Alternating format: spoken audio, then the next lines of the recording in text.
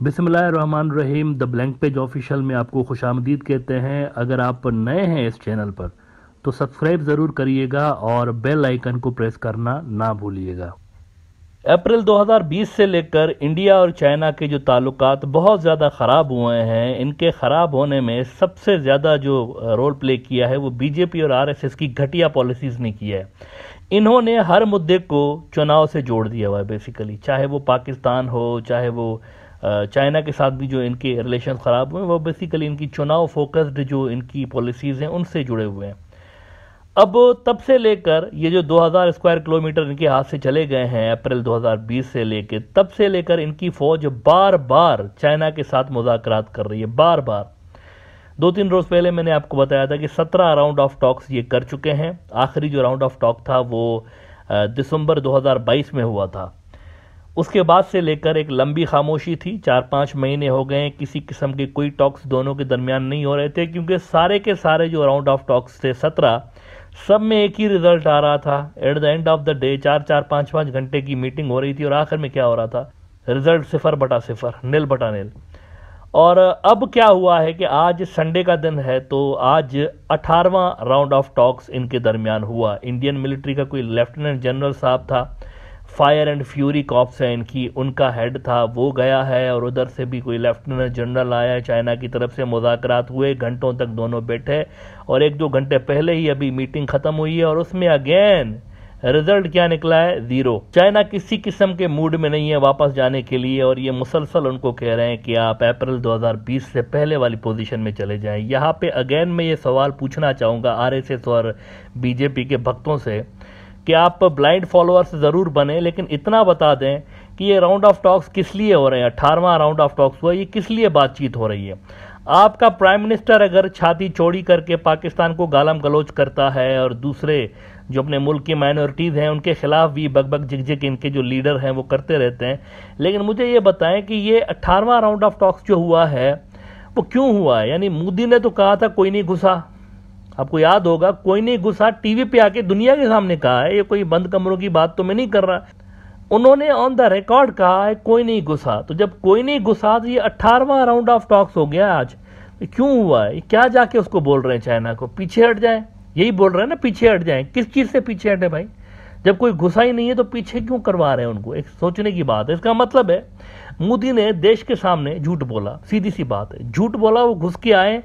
और Indian military इनको पीछे करने की कोशिश कर रही है, लड़ने की, चूँकि कैपेबिलिटीज है नहीं, लड़ सकते नहीं चाइना के साथ, वो बड़ी फोर्स है इंडिया छोटी फोर्स है उसके सामने तो वो उनको टॉक्स के ज़रिए पीछे करने की कोशिश कर रहे हैं और अट्ठारहवें राउंड ऑफ़ टॉक्स में भी कोई रिज़ल्ट नहीं निकला। अब कोई और मुल्क होता ना अगर तो इस गद्दारी पे, ये लिटरली गद्दारी हुई है कि 2000 स्क्वायर किलोमीटर मुल्क के चले गए और जो प्राइम मिनिस्टर है वो क्लीन चिट दे रहा है, उस फोर्स को जिन्होंने ऑक्यूपाई किया है सरेंडर कर रहा है, बिल्कुल।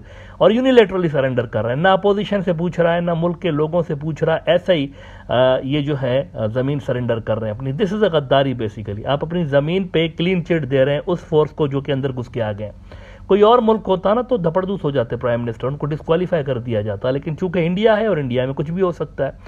ए एन आई इंडिया का बड़ा न्यूज़ आउटलेट है। इन्होंने खबर लगाई है कि India China hold eighteen round of corps commander talks to resolve military stand off unresolved issue being taken up और इसमें वो कह रहे हैं कि in the talks the two sides have agreed to stay in close contact and maintain dialogue through military and diplomatic channels and work out a mutually acceptable resolution of the remaining issue at the earliest however the Chinese side does not seem to be in a hurry to resolve the issues and is not allowing any forward movement to take place on the legacy issues like the Depsang they have been blocking Indian patrols to move to their patrolling points in that sector for a long time now.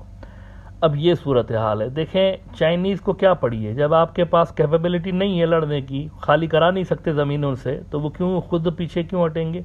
अगर उनको खुद पीछे हटने की उनकी कोई भी किसी किस्म की इंटेंशन होती तो ये पक्के स्ट्रक्चर्स क्यों बना रहे हैं? आपको पता है हाईवेज बन गए अंदर, उस इलाके के अंदर हाईवेज बन गए रोड कनेक्टिविटी आ गई है अंदर, और शानदार किस्म के रोड हैं ऑल वेदर रोड्स बना दिए बिल्डिंग्स बना दी गई हैं लद्दाख के उन इलाकों के अंदर जो कि इंडिया से छीने गए। और यहाँ से मौसूफ ने फरमाया, कोई नहीं घुसा। इसका मतलब है, देश के साथ झूठ बोला गया and he got away with that एक और भी झूठ इन्होंने बोला और वो 2019 के अंदर सत्यापाल मलिक, ये जो फॉर्मर गवर्नर हैं कश्मीर के, इन्होंने कुछ रोज़ पहले बोला था कि ये पुलवामा जो था वो अंदर से ही हुआ था। मैसिव सिक्योरिटी लैब्स थे। जो रूट्स आम दिनों के अंदर हैवी सिक्योरिटी में रहते हैं, उनके अंदर से गाड़ी या आरडीएक्स से भरी हुई गाड़ी क्रॉस करती रही, कई रोज तक फिरती रही और किसी ने उसको टच भी नहीं किया, पूछा भी नहीं उस गाड़ी से। तो ये हमारे अंदर से ये प्रॉब्लम था।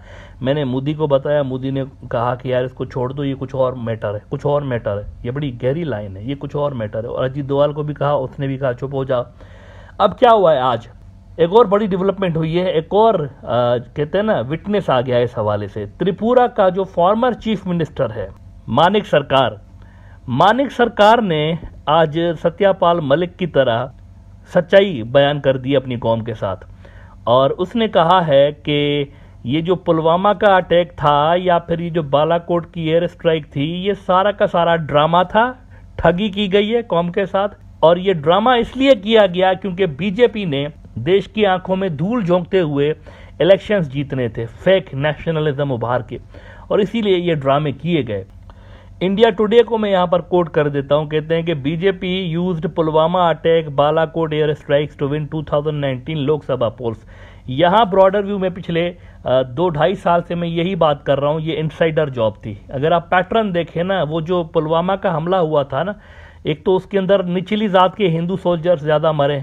चुन चुन के लोग वो सिलेक्ट किए गए थे इस रूट पे जाने के लिए जो कि निचली जात से ताल्लुक रखते थे विच इज़ वेरी सरप्राइजिंग और दूसरा ये हुआ है कि वो जो आम दिनों में जगह जगह चप्पे चप्पे पे जहाँ पर चेकिंग होती है, वहाँ पर ये कई रोज तक, बल्कि कई हफ़्ते ये गाड़ी आरडीएक्स लेकर फिरती रही और किसी ने इसको पकड़ा नहीं।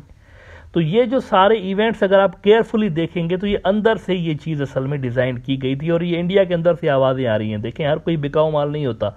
कुछ लोग देखें, सच्चे हैं, कौम के अंदर, यहाँ पर इंडिया में भी, जो कि अपने पब्लिक से सच बोल रहे हैं कि ये हमारे वालों ने किया मानिक सरकार ये फॉर्मर सीएम त्रिपुरा की। इनके बारे में इंडिया टुडे कह रहा है कि Sircar also accuse the ruling BJP to trying to rewrite history in a new form and claimed that the saffron party has removed the old history from the textbooks of school. तो ये सूरत हाल है India के अंदर कि अब खुद आ, India से ही आवाज़ें आ रही हैं सच्चाई जो है वो सामने आ रही है पब्लिक के। ये कि यह सारा जो था ये ड्रामा था उनके साथ ढोंग किया गया। सिर्फ़ इलेक्शन जीतना मकसद था। आर्टिकल 370 जो लद्दाख के ऊपर से हटाया गया, इसके नतीजे में एक इंच ज़मीन का इंडिया को एक्स्ट्रा नहीं मिला। ना पाकिस्तान से मिला है, ना चाइना से मिला है। लेकिन इंडिया ने 2000 स्क्वायर किलोमीटर गंवा ज़रूर दिया। इसका मतलब है इनकी कोई प्रिपरेशन नहीं थी। कांग्रेस वाले भी आर्टिकल 370 रिमूव कर सकते थे, लेकिन उन्होंने इसलिए नहीं किया क्योंकि फ़िलहाल इंडिया प्रिपेयर्ड नहीं था इसके लिए। इनको पता था, कांग्रेस वाले सही तरह से समझ रहे थे सिचुएशन को कि फ़िलहाल अगर हम इसको हटाएँगे तो यकीनी तौर पर क्लैश छिड़ेगा और हम उसको कंट्रोल करने की पोजीशन में नहीं होंगे, इसीलिए वो नहीं कर रहे थे रिमूव इसको। अलबत्त मोदी ने चूँकि अपना नेशनलिज्म का फ़ैन बेस बढ़ाना था, इसलिए उसने आर्टिकल 370 रिमूव कर दिया और उसके नतीजे में इंडिया के हाथ से 2000 स्क्वायर किलोमीटर सिर्फ़ लद्दाख के अंदर निकला है, वो जो सिक्किम और अरुणाचल प्रदेश, उसकी तो बात ही नहीं कर रहा मैं। और उसके नतीजे में आप देखें कि अब अट्ठारहवा राउंड ऑफ़ टॉक्स जो आज हुआ है, वो भी फेल हो गया है और इंडियन मीडिया खुद कह रहा है कि China is in no hurry उनको कोई जल्दी नहीं है ये इश्यूज़ रिजॉल्व करने की, क्योंकि इंडिया छोटी फोर्स है, उनके सामने मिलिटरली इस पोजीशन में नहीं है कि ला के अपने वापस लें। और इस वजह से फिर वो चूँकि स्ट्रांग पोजीशन में है चाइनीज़ तो वो रिलैक्स बैठे हुए हैं और किसी किस्म के मूड में नहीं है पीछे जाने के।